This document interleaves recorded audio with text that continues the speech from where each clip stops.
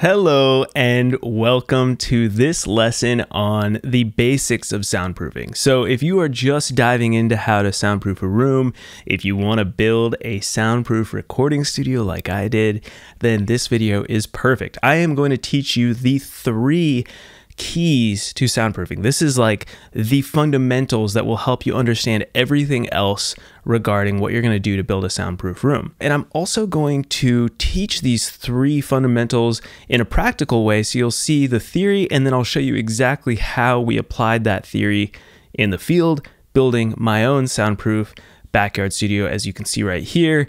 Uh, this was a freestanding structure in my backyard, uh, and it is completely soundproof, and I will show you how we did it. Before we jump in, I do want to say that I have a free soundproofing workshop. This is 40 minutes of great teaching giving you all of the things you need to know to design and build your own soundproof recording studio. So if you are interested in that, check it out at soundproofyourstudio.com and you can jump in right away and start watching that workshop.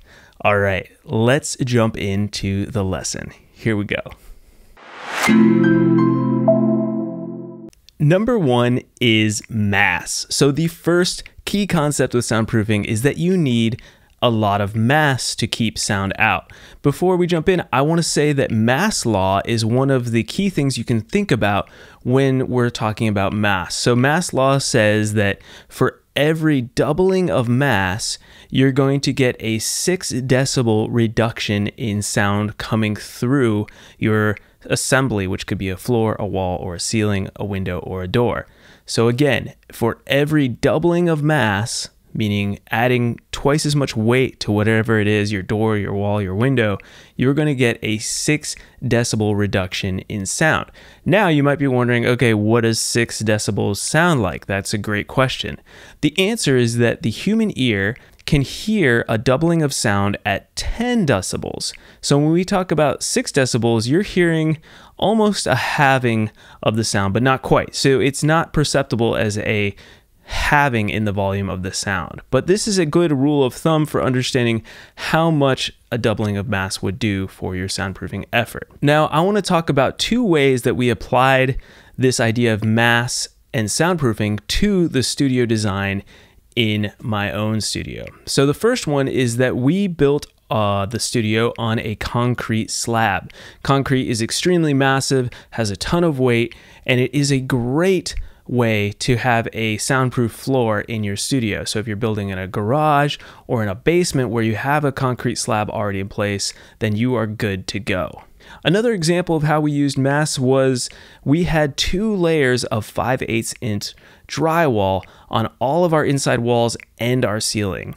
The drywall is a great option for adding mass to your room because if you get the 5 8 inch, which is the heaviest drywall in most commercial purposes, uh, and you put two layers back to back together, then you will get a ton of mass. This stuff is very heavy. As you can see here, we had to lift it up using our backs and put it on the ceiling and put it on the walls, and this stuff definitely keeps sound out. Another example is we made a door into the studio that weighs roughly 300 pounds. And the way we did that is we used a solid core door, which is solid wood. We put eight pounds per square foot of sheet lead on the back of that door. And then we put three quarters inch of plywood over that sheet lead. And this door is just super massive and heavy. And that is also helping to keep the sound out. All right. Number two is air. When you are building a soundproof studio or a soundproof room, the number one thing you want to think about, along with mass, is making sure that it is absolutely airtight. Wherever air goes, sound goes. So if you have even small holes in your studio around the door, around your windows, or through your HVAC system, then you might be getting some sound traveling through those holes directly into your, your room, which will make your soundproofing useless. So every single area around your room needs to be airtight. So, how do we do that? One of the main things we do is we use something called acoustic caulk, which is a special caulking material made for acoustic purposes. And what you can do is you can put the acoustic caulk around all the perimeters of the floor, the ceiling, and the corners of your room where the drywall touches either the floor or another piece of drywall.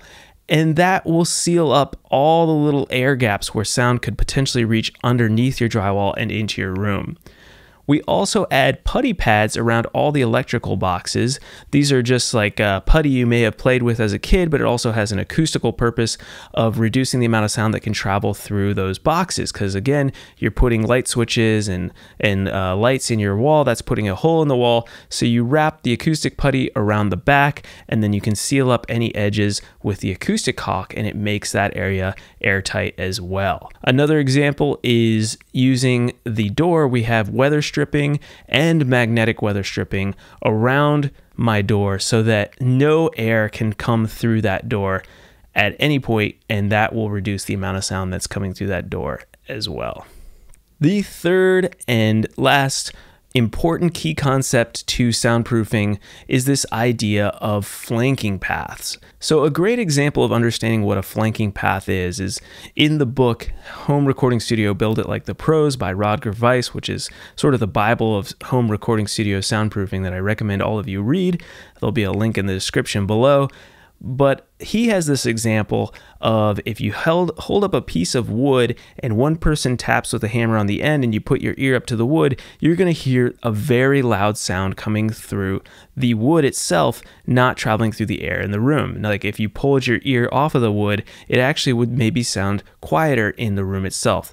That is a flanking path. Sound is traveling through a material in your structure and is actually sending it through and making it maybe even louder entering into your room. So, with soundproofing, we want to eliminate the chance of all those flanking paths where sound could travel through the structure and into your room to do that, we want to think about where there's all these places that that could happen, whether it's through the outside walls coming to your inside walls, whether it's through an HVAC duct system, whether it's through pipes in your sewer line or piping going through your walls. Those are all possible flanking paths. So, how did we get rid of the flanking paths in my home recording studio? For one thing, we built what is known as a double wall system.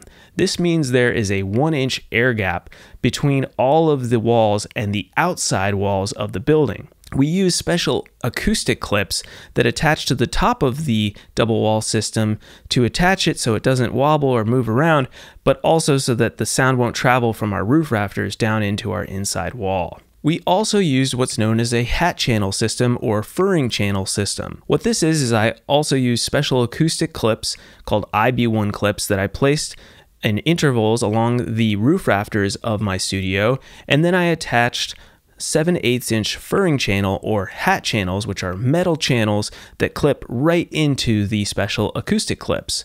You then can take your two layers of drywall and drill them directly into the actual metal channels. This has the effect of decoupling the drywall from the roof rafters. And what that does is it makes it so the sound that would be traveling through on the flanking path through the roof rafters so that the sound cannot reach the actual inside layers of drywall, making it so that sound won't be heard inside the studio from the outside. Those are just some examples of how we reduced sound traveling from flanking paths. As long as you keep the idea that everything needs to be separated using either air space, like in our double wall system, or actual acoustic clips that will decouple the transmission from one side of your building to the inside of your building, then you will be good to go. So let's talk about what we just learned here. So, in conclusion, you want to make sure that you have lots of mass. Mass will keep sound out or keep sound in your room, thus making it much more sound isolated and soundproof. Number two, you want to make sure that your room is airtight.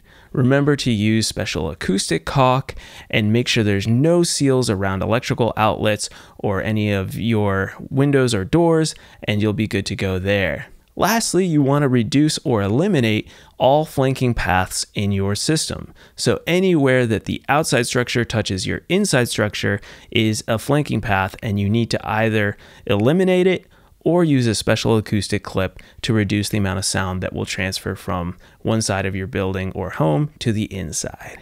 I hope you have found this soundproofing basics lesson helpful. If you want to take a deeper dive into soundproofing, I highly recommend checking out that free 40 minute soundproofing workshop. You can watch it immediately. Just go to soundproofyourstudio.com and you can begin learning all about how to soundproof your studio and go in depth and leave with a formal plan that you've designed of how to soundproof your home recording studio. I want to thank you all so much for watching or listening on our podcast. And until next Monday, I will see you all later.